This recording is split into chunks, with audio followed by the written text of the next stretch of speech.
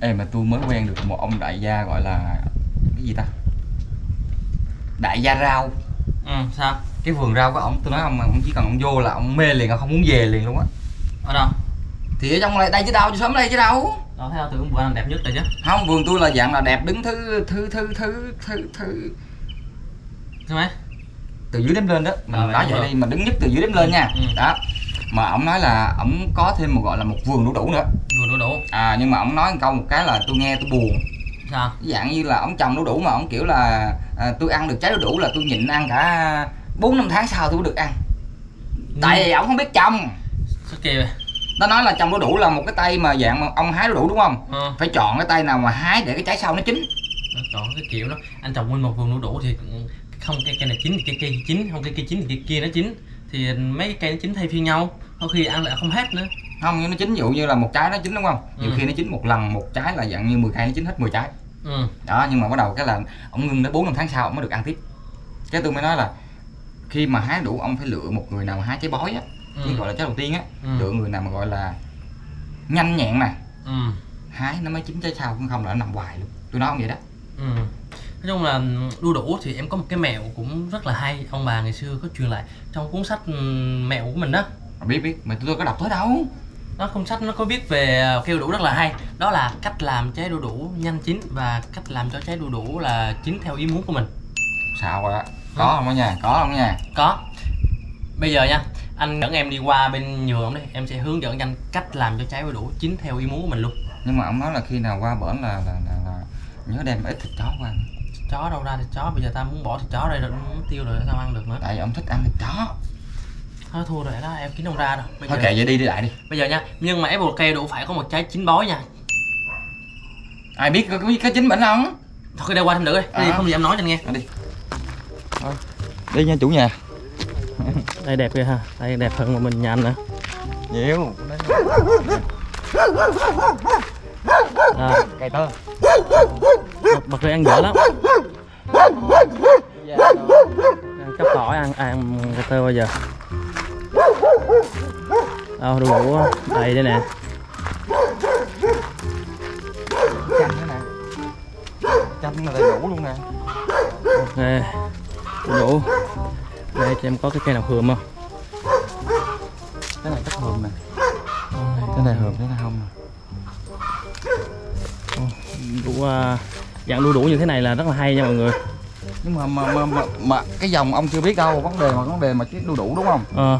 Một khi ờ như như cái này cái này đúng không? Ừ. Thì nó hườm nè thấy nó hườm không? Ừ. Nó hườm đúng không?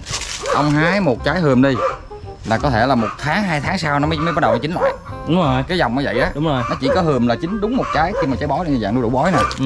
Này cái này chắc đang hườm nè. Mà mà mày kiểu mà hái vú thì cái đu đủ ai mà hái vú bây giờ đủ chín cây ăn ngon hơn ai thì đâu ai đi hái vú bao giờ. À, à, đây trái dưới hườm chưa ta. Dưới hườm nè. À. đó dưới đó.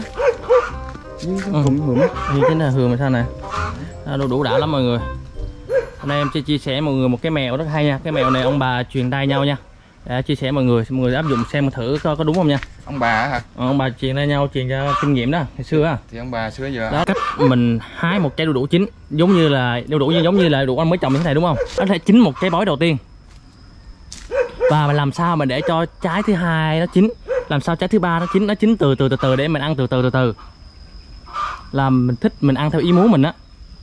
Giật làm có chuyện đó. Là, em ví dụ nha ví dụ à, một trái à, đu đủ. Chín anh thấy chín cây đi anh hái vô. Ví dụ như chín cây mà nó vàng đó anh hái vô. Rồi rồi thử coi. Cái này đi cái này hườm đi.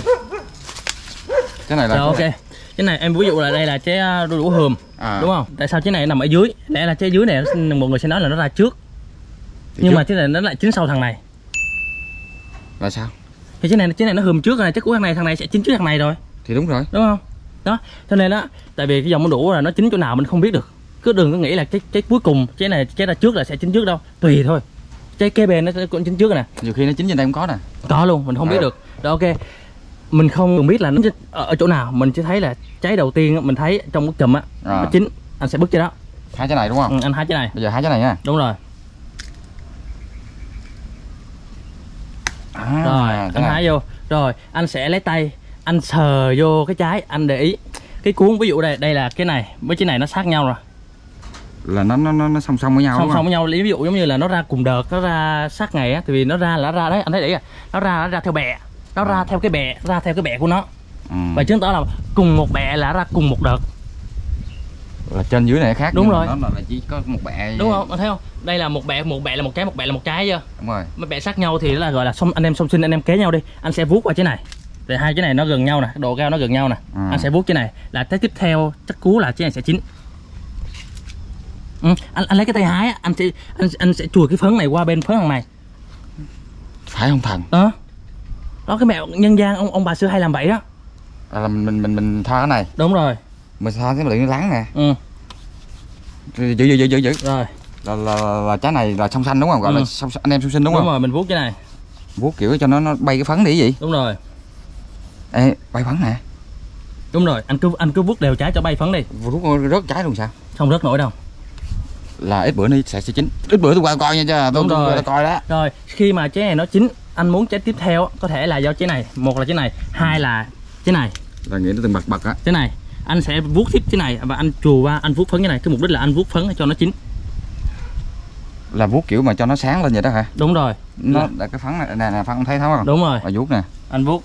Vuốt là sẽ, sẽ mất cái phấn đi. Đúng rồi. Đùng phải không ta? Đúng rồi. Và nhớ là anh phải cầm cái phấn của trái chín anh vuốt phấn của trái chín anh vuốt đều anh vuốt đều hết cái phấn của chín rồi anh lại vuốt đều hết ờ, qua bên thằng thằng tiếp theo.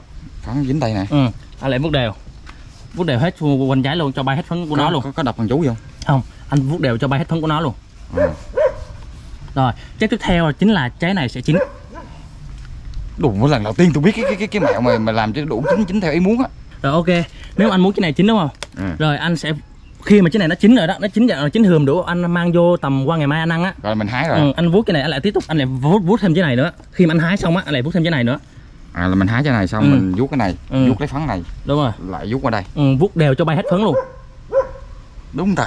Đúng cái là cái kinh nghiệm ông bà xưa người ta chỉ lại cho con cháu. Xưa ông bà hay làm vậy mà. Mà tôi nghĩ ông bà chắc đúng rồi. Đúng rồi người ta làm người ta có kinh nghiệm cho nên người ta mới chia sẻ chia sẻ lại cho nhiều người cùng biết để cho không bị mai một những cái kiến thức của ông bà ngày xưa người ta đã gây dựng lên. Đúng đúng được á. Đó, Thử ok. nha, thử nha. Đó đơn giản nôm na vậy thôi. Đu đủ ra một dàn trái. Trái nào chín đầu tiên thì mọi người sẽ bứt cho đó và mọi người chùi phấn trên trái chín. Mọi người chùi qua trái tiếp theo. Là trái này. trái song xanh á. Trái song xanh à đây nè trái này.